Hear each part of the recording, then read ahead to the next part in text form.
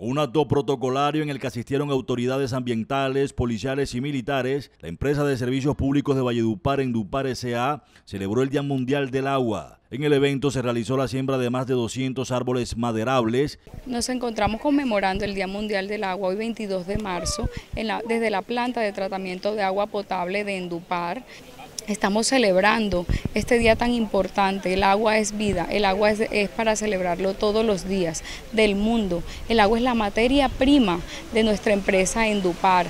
Necesitamos multiplicar el mensaje a toda la ciudadanía vallenata y al mundo entero a invitarlos a cuidar el agua, a de verdad cuidarla desde nuestras casas, desde nuestros hogares. Estamos acá en una siembra de árboles, más de 200 árboles maderables. Son muchos los beneficios que genera la siembra para los ríos. Gracias a sus raíces disminuye la erosión que genera el agua y el viento, reteniendo la tierra y evitando, por ejemplo, los deslizamientos. Como Policía Nacional tenemos un grupo de policía ambiental donde se generan diferentes actividades en pro de la conservación del medio ambiente.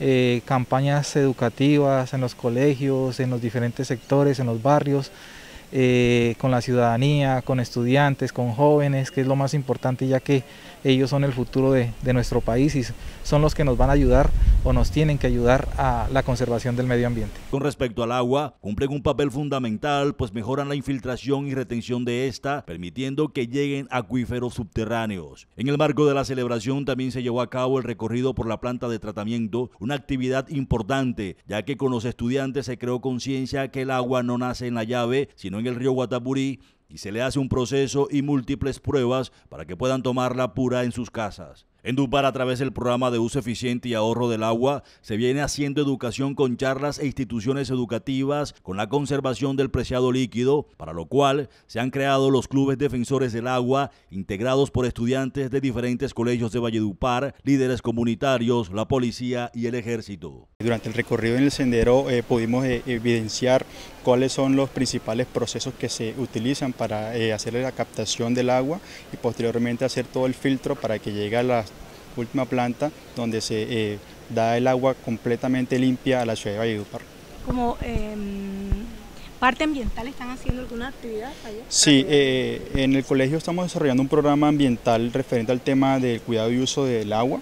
Eh, lo realizamos como patrullajes ambientales por salones de clase, generando el sentido de pertenencia, como te mencionaba anteriormente, para poder darle ese recurso hídrico a, toda la sociedad. desde el colegio Nuestra Señora de Fátima Valledupar somos garantes de tener este proceso, que se realice este proceso de una forma eh, especial para que nuestros estudiantes sepan cómo es el proceso de captación y puedan obviamente tener sentido de pertenencia y cuidar el agua.